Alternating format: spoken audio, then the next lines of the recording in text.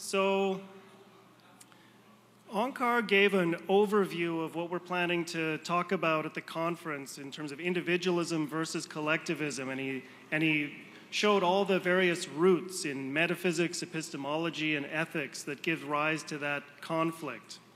Um, for the next two talks, myself and Ben Bayer, we're going to we're going to drill into the issue of ethics, and we're going to talk about the conflict between egoism and altruism. So I'm going to talk about the virtue of selfishness. And I'm borrowing this from the title of a book by Ayn Rand. She has a collection of essays on, on ethics or morality, and she called it the virtue of selfishness. Now, right away, this is a very provocative perspective, right? Why would she call selfishness a virtue? Why would she say selfishness is a good thing? Right? Everybody in the world uh, takes it for granted that selfishness is a bad thing, that, it, that it's a vice, not a virtue.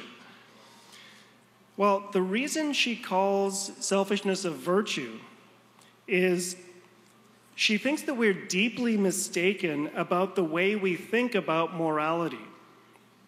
Um, so, Rand's perspective is that our conventional way of thinking about morality, of right and wrong, of good and evil, is completely wrong. It's 100% mistaken. So she's challenging our conventional wisdom about morality. If you look at history, you know, there have often been thinkers who take things that we think are completely obvious and they show us that we were completely wrong. They completely overturn it. We see this in the history of science. If you look up in the sky you can literally see the sun moving from east to west every day. So it seems perceptually obvious that the sun is moving and the earth is stationary, right? So the idea that it's actually the earth that's moving and that it's orbiting the sun at 70,000 miles per hour, I mean, this is completely crazy, right? And yet, uh, Copernicus and Galileo and Kepler and Newton showed us that we were completely wrong about our perspective about the motion of the earth and the sun. It's the earth that moves, um, not the sun. So Ayn Rand is, is, is uh, uh, a revolutionary thinker on this kind of scale. She's challenging our conventional wisdom about morality in the same way that people have challenged our conventional wisdom about scientific issues. So she's challenging us to rethink 2,000 years of moral tradition.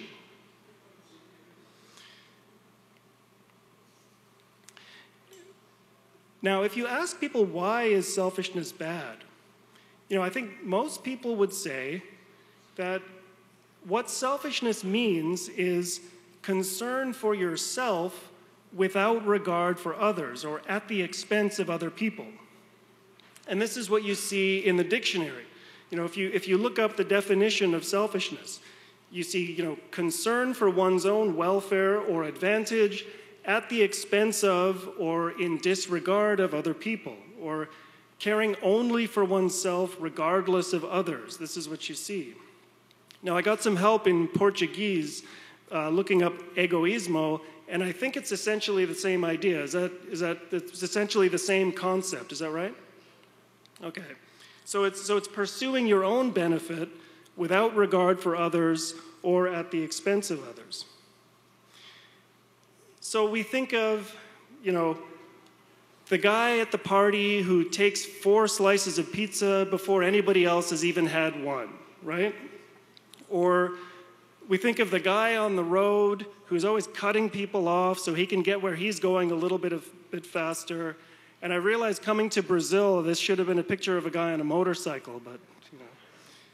Or worse, you know, we think of um, a criminal like Al Capone. Is everyone familiar with Al Capone? So he was a, he was a mafia boss in Chicago in the 1920s.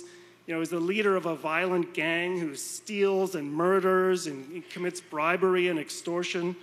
So he's someone who's trying to enrich himself by exploiting and preying on other people.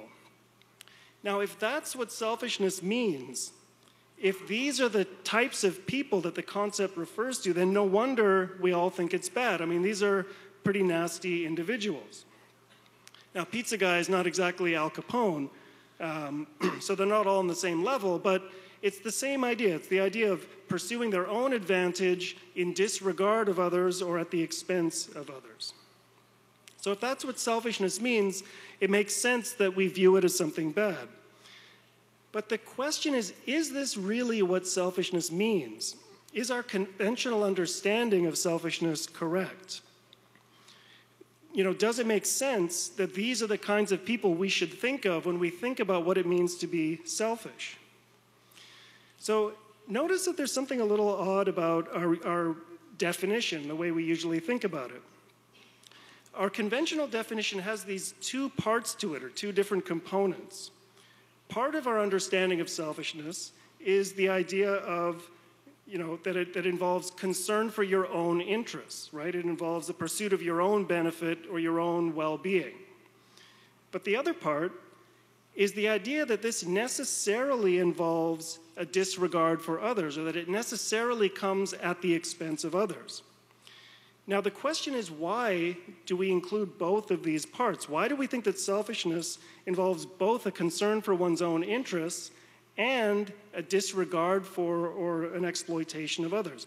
There's a certain implication here that these have to go together, that you can only pursue your self interest if you have no regard for other people or if you prey on them or exploit and victimize other people. In other words, there's an assumption that's built in to our conventional understanding of selfishness that one person can only get ahead if another person loses out. That the only kinds of relationships that are possible between people are win lose relationships. Now, the question is does that seem right to you? In, in, when you interact with people, does it seem right that the only kinds of interactions you ever have with people are win lose interactions where one person gets ahead and the other person loses out. I mean, I think that seems pretty obviously wrong because we all experience win win relationships all the time.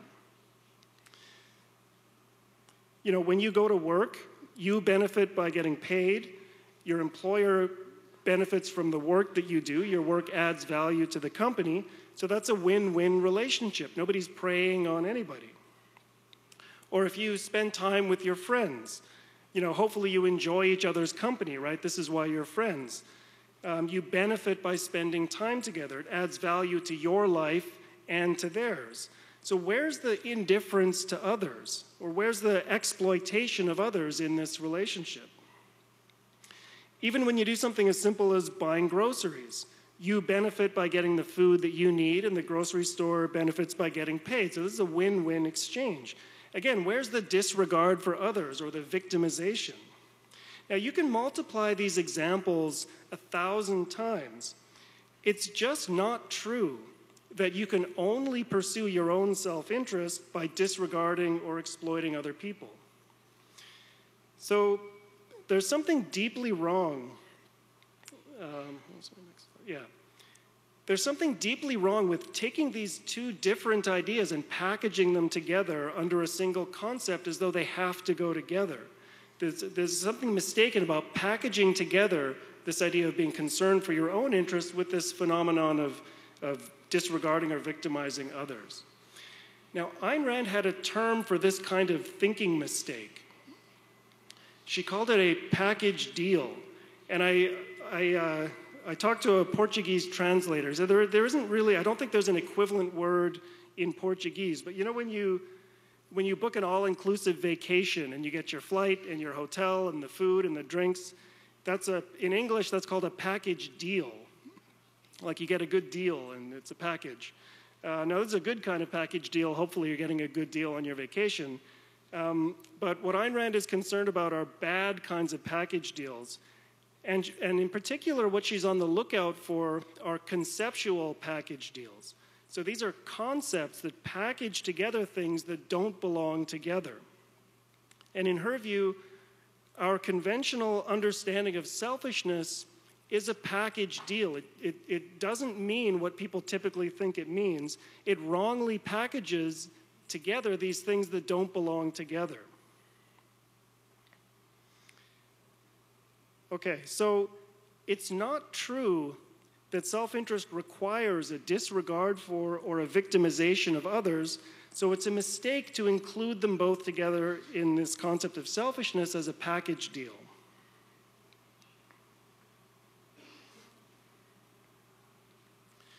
Okay, so if it's not true that self interest means disregarding people or, or treating them as victims to be exploited, what does it mean? What does it look like to truly pursue your own self interest? So, one possibility that people might propose is it's just a matter of doing whatever you want to do, right? Pursuing your self interest just means doing whatever you want. And often it's put as doing whatever you feel like doing, right? So if you do something because you want to do it or you feel like doing it, does that make it something that's in your self interest? Well, I think there's a problem with that idea too, because there are often things that we feel like doing that aren't good for us, right? Um, there are all kinds of things that we might want to do or feel like doing, but we know that they'll have bad consequences for us later on. So you might want to eat an entire box of donuts, but you know that that's not going to be a very healthy choice. Or if you're a student, you know, you might feel like skipping the final exam. Uh, maybe you'd rather go see a movie instead. But you know that that's not going to be a good choice. So, self interest is not just a matter of following your whims or your feelings. Just because you want to do something, it doesn't make it something that's in your long range, rational self interest. So, what is in your self interest? Well, uh, yeah. So, Ayn Rand's perspective on this is that to figure out what's in a person's self interest, you first have to take a very broad perspective on human life. You have to look at man's nature and ask, what kinds of values and what kinds of actions will result in a life of flourishing and happiness? And what kinds of actions and what kinds of choices will lead to harm and destruction? So you have to treat ethics like a science. You have to draw abstract principles that apply to all human beings and that provide a standard for each person to use um, to choose the specific values and actions that they will pursue in their own life. So, from Ayn Rand's point of view, this is the whole purpose of ethics. Um, this is why we need ethics. The whole point of morality is to provide a set of principles for us to follow to guide our choices and actions in life so that we can achieve a life of success and happiness. Now, what that looks like is the whole content of Ayn Rand's ethical philosophy. So, Rand developed a whole systematic code of morality that offers the kind of guidance I've just described. Today, I'm just going to give you a kind of brief indication of some aspects of, of Rand's perspective. But if you read her writings, especially her novel Atlas Shrugged and uh, her book The Virtue of Selfishness, you can find a full, detailed explanation of her moral philosophy. So, a brief indication the principles that Ayn Rand identifies as offering the kind of guidance that we need take the form of a set of moral virtues. So, normally, if we think about moral virtues, we think of things like faith, hope, and charity. So, this is, these are not part of Ayn Rand's set of moral virtues, right? Um, the kinds of virtues that Ayn Rand recognizes as, as providing the kind of guidance that we need in life are things like rationality, independence, integrity, justice, honesty, pride, productiveness. So these are broad, abstract principles of action for us to follow, for us to apply to the specific things that we do in life. And it's by following these virtues that we can achieve success and happiness. Now, this is a very different view of morality from what we're used to. Normally, when you think about morality, the, the morality that we're often presented with, that we often think about, you know, we think about a set of rules that we have to follow or duties that we have to obey, right? Uh, yeah. So we think about, you know, the morality consists of something like the Ten Commandments. These are rules that we have to follow. And the whole goal of morality is to counteract our self interest, right? Is to get us to stop being selfish, to do our duty, and to follow the commandments, right? So Rand's perspective on morality is completely the opposite of this. It completely overturns the conventional view. The whole purpose of morality is to teach us how to follow our, and achieve our self interest. And the way we achieve it is not by blindly following commandments, it's by understanding these broad abstract principles um, that tell us what human life requires if we want to achieve success and happiness and applying those to our lives. Let's consider an example. So, one of the virtues that I talked about in Rand's moral system is the virtue of productiveness. Now, why is productiveness a moral virtue for Rand? Well, it's a moral virtue because it's one of the fundamental requirements of human life. Human beings survive by producing the things that we need. You know, we don't just find clothes and food and iPhones sitting around in nature. Um, we have to create them through productive work. So we have to take the materials that we find around us in nature and reshape them to produce the things that support our ability to thrive. Now, unlike the lower organisms, we're not programmed to pursue these things automatically. So we don't automatically draw water from the soil like plants, right? We don't even know automatically you know, how to feed ourselves out in the wild. If you throw me in the jungle, I'm not going to do as well as this monkey getting his banana, right? I'm probably going to starve. We need to use our ability to reason to discover the things that support our lives, and then we have to reshape nature to produce those values. So, one of the things that each one of us needs to do is find and choose some form of productive work to support ourselves. Now, notice that this is a universal principle that applies to everybody, but it doesn't specifically tell anyone, you know, any, any specific line of work that they should pursue. It doesn't say that you, know, you should become an artist and you should become an entrepreneur and you should become a doctor, right? Each of us has to apply the principle of productiveness to our own life by choosing the specific work that we will do in life. Most of our waking hours are spent working. So, productive work is one of the central values of our lives.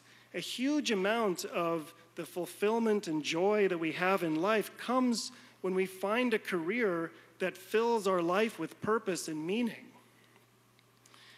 And notice that this is nothing like how Al Capone lived his life. Right? A criminal spends his whole life trying to avoid rational, productive work by preying on other people. You know, so it's no accident that someone like this ends up dying of syphilis in Alcatraz, right? This is not somebody who pursued a life of reason and purpose and actually pursued his long range rational self interest. So, one final point about productiveness. Notice also that this is a demanding, lifelong process. We need to choose the kind of work we want to do. We need to get the training and acquire the skills and experience to be able to do that kind of work. Need, you know, that can take years, right? We need to look for a job in that field uh, or start a company or do something. We need to manage our career over time. If we find that we're not enjoying the work that we're doing, we need to find a different line of work, right? So the virtue of productiveness is something we practice over the course of our whole lives. So we have a very broad principle that tells us one of the major requirements of a rational, successful, fulfilling life. And then we have to continuously work over time to apply that principle to our own individual lives. And uh, let's see. And this is the pattern for all of morality. So, in, in Rand's view, this is what it means to be truly selfish. So, happiness in life you know, it doesn't come from following our whims or from following a set of rules or commandments. Happiness comes from the process of pursuing and achieving rational values in all major areas of life. So this is, a, this is an important point, so I'm going to say this again. Happiness comes from the process of pursuing and achieving rational goals and rational values in all the major areas of life. And this is something that takes a sustained effort over time. Each one of us has to do the work to um, build this into our lives. So we need to, these, these, these various moral virtues that, that Rand presents as part of our ethical system, we need to work to understand what those virtues mean and what they tell us and how, they, how they're supposed to apply to our lives. So we have to understand the principles and how to apply them. Then we have to define and choose the specific values that we're going to pursue in life that makes our individual life worth living. And then we have to work over time to pursue and achieve those values over the course of our whole life. So, that, in Rand's view, is what it takes to achieve happiness and fulfillment in life. And notice how radically different this is from our conventional view of what it means to be selfish. This is nothing like what we typically think about when we think about selfishness. So, so being properly selfish requires a sustained, principled focus on the challenge of defining, pursuing, and achieving your own values and long term well being. So, this is a, a, demanding, lifelong process, but this is what it looks like to achieve genuine fulfillment and happiness in life. So let me end by making one final point, and that is that getting our concepts right really makes a difference. Our conventional way of thinking about selfishness is deeply mistaken. I like this meme, so I keep putting it up. Um, but it, it's mistaken in a way that actually makes it harder for us to achieve a happy, fulfilling life we use the reason we have these moral concepts. So I've talked about selfishness, and, and Ben is going to talk about altruism and sacrifice. The reason we use these moral concepts um, to help us think about what's right and wrong, you know, to help us make decisions about how to act and what values to pursue in life. So if our understanding of these concepts is, is wrong in some fundamental way, then the whole way that we think about life and values and how to make decisions about these things is going to be confused and distorted. Right? Think of it this way. If you're trying to build a piece of furniture and all you have to work with are broken tools, you know, that's, gonna, that's not going to get you very far. So imagine how hard it is to build a life when some of your most important conceptual tools are broken. And if you have a concept of selfishness you know, that's exemplified by someone like Al Capone, you know, how is that going to affect the way that you think about what it means to pursue your own self interest in your own well being? So, this is the position that Rand thinks we're all in. We have a deeply mistaken understanding of morality, and that causes a lot of confusion about the choices that we should make, about our values, and about how to live our lives. And what she argues is that if we take a fresh look at reality and we look at the requirements of human life, what we find is that selfishness, properly understood, is actually an important virtue in life. It's, it's the virtue of taking your own life and your own happiness seriously, you know, of assuming the responsibility for pursuing and achieving what you want out of life. So let me just uh, summarize the final point. So getting our concepts right makes a difference because we think in terms of concepts. And if we rethink what it means to be selfish, we find that far from being a vice, it's actually a crucially important virtue. Thank you.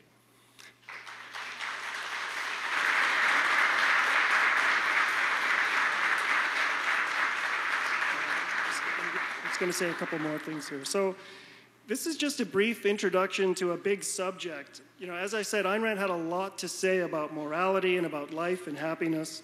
So if you want to follow up and explore her ideas more, I definitely recommend reading her novels, The Fountainhead and Atlas Shrugged, especially, and her book, The Virtue of Selfishness. And I wanted to give you some other things that you can do if you want to follow up. Um, we, have, we have an app that has courses on Ayn Rand's philosophy and you can get it you know, on, on, on the iPhone store, on the Google store. You can download it right away, and um, there's hours and hours of content about all aspects of Rand's ideas, and you can, you can study those.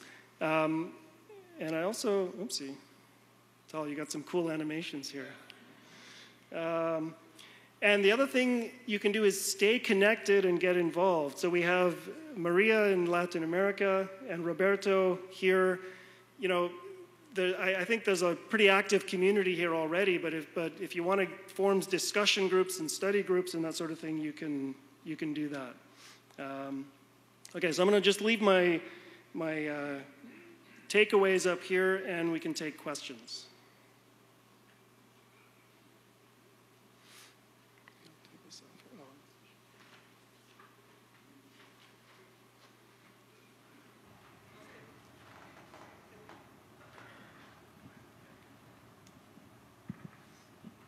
Temos tempo, para duas perguntas.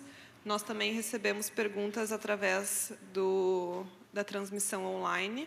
Uh, nós podemos ler para aqueles que enviarem também. Oi, bom dia. Obrigada pela palestra.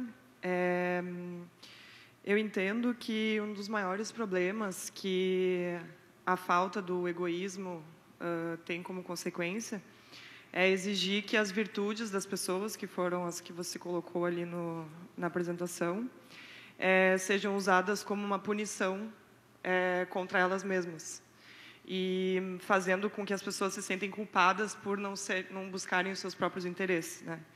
E aí isso acaba fazendo as pessoas é, exigirem que você funcione uh, contra a sua vontade ou o seu próprio interesse é, vinculando, por exemplo, amor com medo, é, capacidade com punição e ambição com confisco, como uma coisa que precisa, por exemplo, você ser ambicioso é porque você quer roubar ou que você quer, sei lá, nesse sentido. Então isso é uma inversão de valor, né, que acaba é, sendo uh, propagada, né, para uma sociedade. Então a minha pergunta seria como que se restabelece isso? Numa sociedade, sendo que essa essa forma de pensar e agir é, já se estabeleceu. E a segunda pergunta, que é bem rápida, é que eu acho que egoísmo aqui no Brasil tem tipo uma semântica estilo livre, assim, cada um entende com, da forma como quiser. Uh, a gente chama aqui de semântica freestyle. e como que a gente conseguiria fazer a palavra egoísmo ser mais aceitável uh, entre as pessoas na sociedade. Obrigada. Okay, so to, to take the second part first, um, the uh, one of one of uh, the interesting things about Ayn Rand as a as a thinker about epistemology, about the theory of knowledge and so on, is that is that she thinks that you know concepts are not just something out there that we have to take as a given. Even dictionary definitions, you know, they're written by people. And so they're, they're identifications of the facts of the world, but as interpreted by people, and we can go wrong. We can make mistakes about that. So this is what I, what I was saying about package deals and that sort of thing. Um, sometimes, if there's a concept that's important enough, like egoism, um, it's, it's just the very act of pointing out the kinds of things I was pointing out in my talk, pointing out that there's something wrong with this idea and that we need to have a, have a better understanding of it is, is, is part of the way of fighting. I, I wasn't sure exactly what you meant by freestyle semantics, but I don't I'm not sure Ayn Rand would agree with the idea that we can be free to just make up the definitions of words as we see fit. We need to fight for um, what the ideas are that those words represent. And you know, if it's something very important like what the, like the proper conception of selfishness that um, I was describing, we need to fight for people to be very clear on what that means. And to your to the first part of your question, that you're absolutely right, and this is why I was saying that you know Ayn Rand is challenging 2,000 years of morality. Our whole moral perspective is that we have basically we have an alternative between being good, which means sacrificing for other people, or being bad, which means pursuing our self interest. This is the alternative, and Ben is going to say a lot more about you know, the, the, the issue of altruism and what's wrong with those concepts. But Ayn Rand's perspective is that we're offered this alternative, and it's a false alternative. Um, in, her, in her book, The Fountainhead, she describes it as, you know, the two alternatives that we're offered are sadism versus masochism, you know, and then that's not, a, that's not an alternative. So I, I think um, the, the, what, what's needed to fight that is to fight for a, a clearer and, and more rational understanding of these concepts.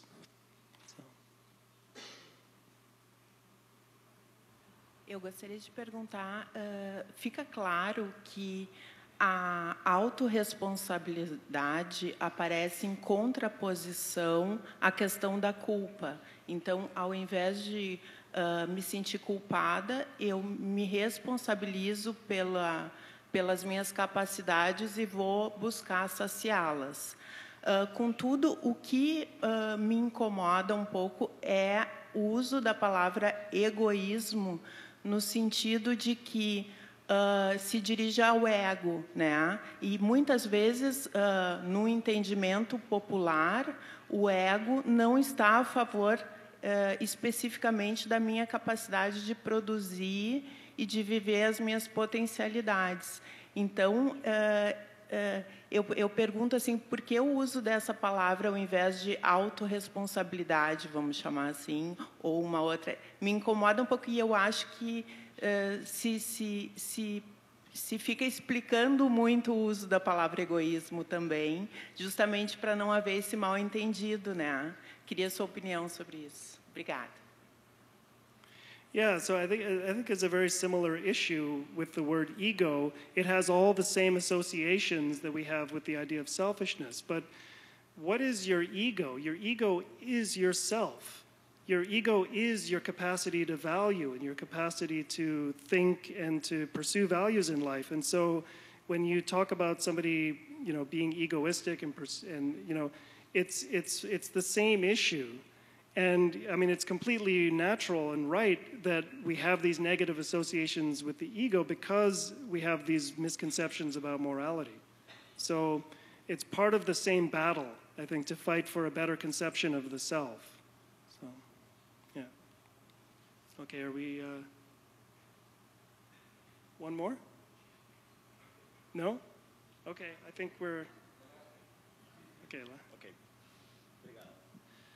Uh, well, the, português. Uh, quando eu li uh, Revolta de Atlas e eu me deparei com esse conceito de que uh, as realizações uh, nos fazem felizes, né? Esse, esse está ligado à felicidade, são as nossas realizações. Isso eu comprei na hora a ideia. É, fez sentido para mim e eu não questionei essa, além. E há umas duas, três semanas atrás, eu estava lendo um debate no, Reddit e era sobre isso, né? Sobre as realizações fazerem né, a pessoa feliz. Então, e alguém que perguntou mas eu, que, que eu, eu não sei por onde começar, né? E a resposta veio da, do, daquele professor de psicanálise canadense, que eu esqueci o nome, que agora é um popstar. É, Jordan Peterson. Ele é, começa arrumando a tua casa. Né? Organiza as coisas simples da vida. E alguém escreveu, eu já tentei essas, esse, essas coisas de uh, Little Man, é, e de pessoas pequenas, comuns, e só me faz mais infeliz e querer me matar. Claro que eu acho que ele tem um problema psicológico maior ali, mas o que, o que me fez perceber naquele momento é que eu não tinha argumentos para dizer por que, que as realizações vão me fazer feliz. Eu não sabia, essa é uma coisa muito pessoal minha, fez sentido para mim. Mas como eu fundamento racionalmente por que que a, a, a realizar os, alguma coisa na minha vida vá fazer feliz. Se para ele ele está dizendo que não faz, é, como esse valor que para mim é um valor, por que, que ele vai ser um valor para outro? Eu não, eu, eu não consigo colocar isso de uma forma racional.